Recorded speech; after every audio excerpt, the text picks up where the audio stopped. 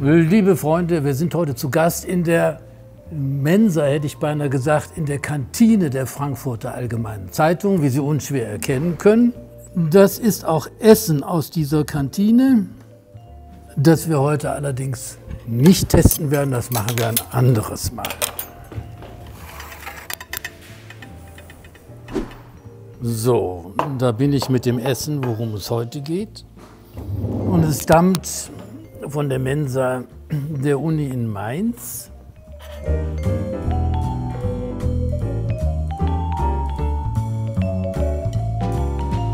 Wir haben äh, Hackfleischrolle Athen mit Basilikumsoße und katalanisches geschnetzeltes Vegan. Auch das erschließt sich mir auf den ersten Blick einmal nicht. Gut, ich probiere. Mich interessiert jetzt natürlich erst einmal, warum Athen? Die Spannung steigt. Es ist mit Schafskäse und noch irgendwas gefüllt. Unverkennbar, wir sind nicht mehr in Deutschland, wir sind in Griechenland.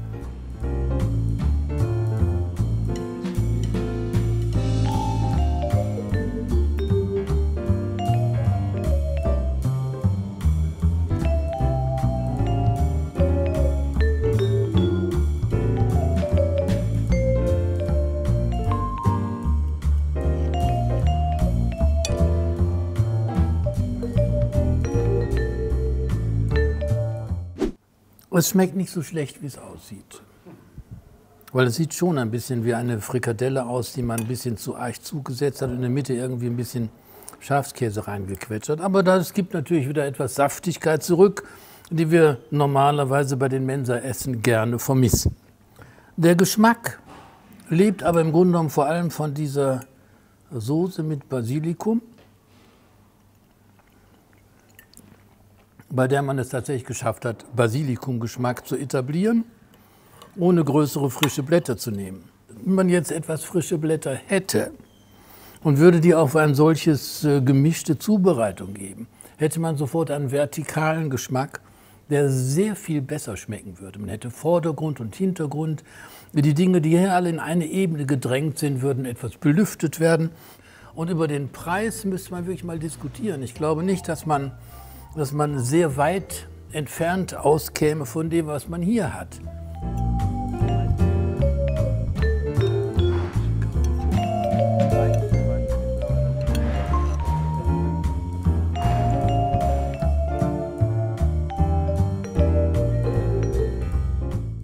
Und immer noch die Überlegung, muss jetzt der Reis dabei sein?